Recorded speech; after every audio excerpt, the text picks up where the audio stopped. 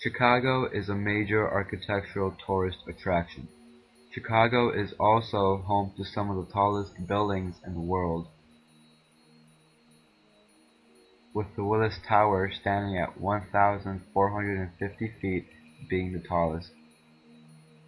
But how did Chicago come to have such an amazing architectural view? It all started after the Great Chicago Fire and the realization that closely built wooden houses was not a very good idea. The fire began on Sunday, October the 8th, and burned until Tuesday, October 10th, 1871. After the fire was exterminated, at least 300 people were dead, 100,000 people were left homeless, and $200 million worth of property was destroyed. The only building to survive the fire was the Chicago Water Tower. The water tower is built out of Lemont limestone as stated in a 1968 letter to John A. Gustafson. Chicago was rebuilt afterwards, and this time with architects taking into account fire safety measures and the materials used to build the buildings. The Great Chicago Fire brought many architects into the city to help rebuild the city. The first modern skyscrapers came about during the early 1880s with architects beginning to use steel frames in construction and large areas of plate glass.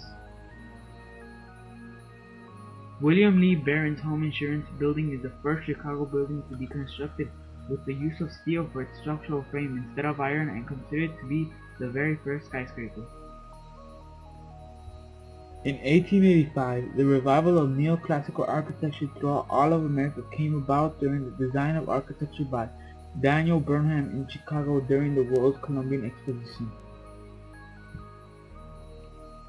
The World's Columbian Exposition is also known as the Chicago World's Fair and was a fair held in Chicago to commemorate Columbus's 100th year anniversary since his arrival to America. This fair brought over 27 million people to Chicago, which proves how architecture can play such a big role in the population and amount of tourists along with boost the prestige of a city. This fair helped boost Chicago's image as an architecturally amazing city. Today, Chicago is just that, an architecturally amazing city, and an innovative city in terms of how buildings have come to be made as time passed by. By the 1930s, Chicago was already beginning to take its shape as an architecturally amazing city. The use of structural steel frames in buildings allowed buildings to be made stronger and taller than ever before, as opposed to the limited height with the traditional use of wood, bricks, and mortar. Tall Chicago structures, such as the Aon Center, the second tallest structure in Chicago, was built using a tubular steel frame structural system with V-shaped perimeter columns to resist earthquakes, reduce the building from swaying, and minimize column bending. This design was taken and used in New York for the creation of the World Trade Center towers. This design was also used in John Hancock Tower. Another historic Chicago building, equally innovative, is the Reliance Building, which built in 1890 was the very first building to use plate glass windows for the majority of the building. Its steel frame design also introduced Chicago people and the world to modern design. The Willis Tower, built in 1973, used a special technique of architecture that made it look attractive as well as conserve space known as the bundled tube system technique.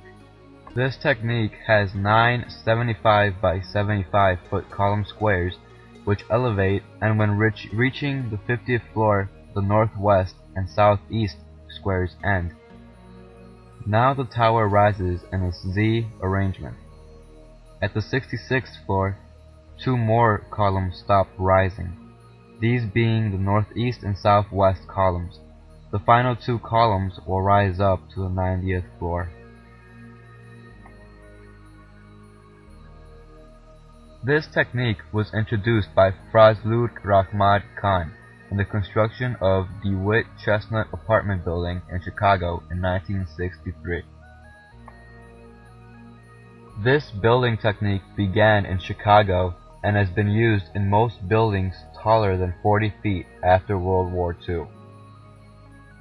These new building techniques created larger, more attractive buildings and as stated before, have allowed cities to grow in population, attract more tourists, and simply add on to the prestige of a city. And the birthplace of skyscrapers, Chicago, was where this all began.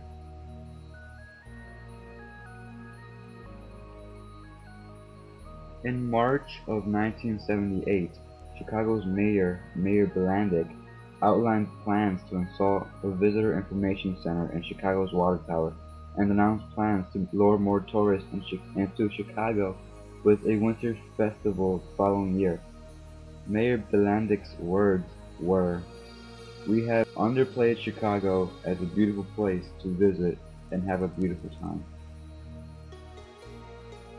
Not only are Chicago structures used to entertain people, large structures are used in business. They are needed in order to house large companies such as the Sears and Roebuck Company.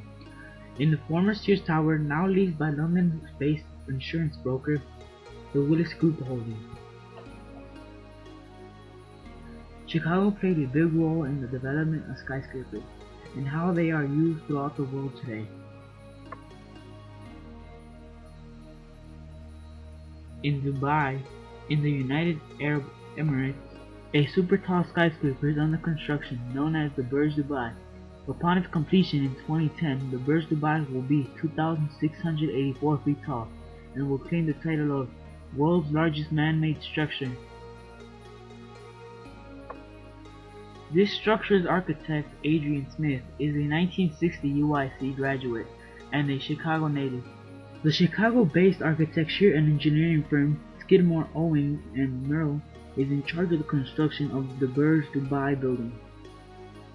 The Windy City has come a long way in the development of skyscrapers and played a big role in how modern skyscrapers have come to evolve, influencing not only other United States cities and states, but other foreign countries as well. Skyscrapers are what they are today thanks to Chicago, the birthplace of skyscrapers and roots of their evolution.